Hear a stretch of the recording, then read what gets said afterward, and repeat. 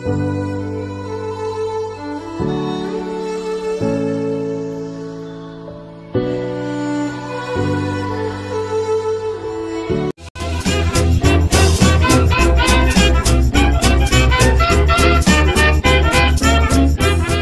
guys, welcome to Bits and Bobs. If it's your first time here, make sure you subscribe, leave a like, and hit the bell button. In today's video, we'll be having a look at two tripods for your phone to see which one is better. The phone tripod I'll be looking at is this version. I'm going to prove that my tripod is the best. So let's go on it.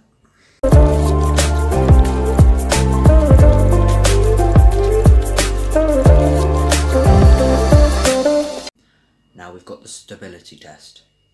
Hope I win.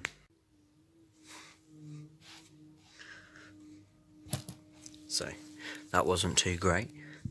Let's put the legs out a bit further.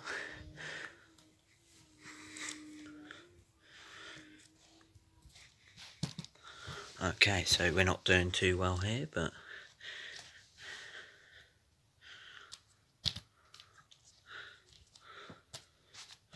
but if I knock the legs, it's fine. Okay, so our first category is stability. Let's find out how stable this version is.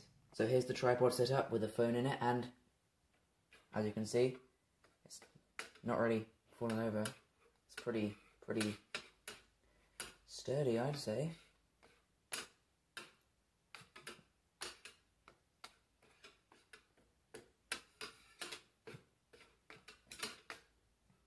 And there it goes. Well, that took quite a lot to get it to fall. Lucky because you got a first person view of the phone movability. So currently it's going round.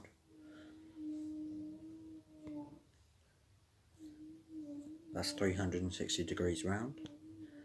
It can go up and it can't really go down. That's as far down as it can go. So yeah, that's that's the phone movability. Okay, so our next category is how much the phone can move whilst in the tripod. Alright, now let's find out how much the phone can move while in the tripod. So, in terms of leaning back, if you was filming upwards, it can go all the way back into about this angle downwards of back. Now, let's bring it back up straight. How far forward can it go if you're filming down? Ah, that's where it stops. Can't go very far forwards, but it can go very far back.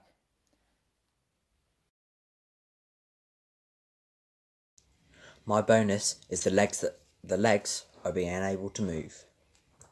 So that means we can attach it anywhere. It can go upside down and any way you want.